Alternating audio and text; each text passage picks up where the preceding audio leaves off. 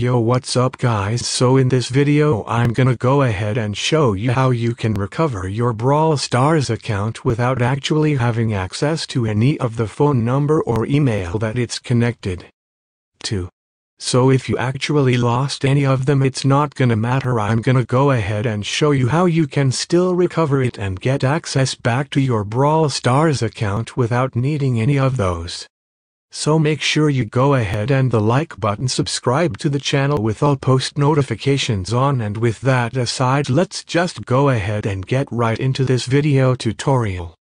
So guys as you can see right here I have two versions of the Brawl Stars app. This is the normal version that you would get from the App Store. And right here we have a version which actually allows us to recover a Brawl Stars account as long as you're on the same device and you're using the same Wi-Fi. Now you don't need to do both if you have same internet connection or you have same device you're going to be able to go ahead and recover your Brawl Stars account if you have lost it somehow. And I'm going to show you exactly how you can do this. So as you can see right at the bottom we have this Recovery Plus Plus option hitting that takes us to this page, which basically allows us to go ahead and recover our Brawl Stars account with using one of the following details. Now we can either use our username email or phone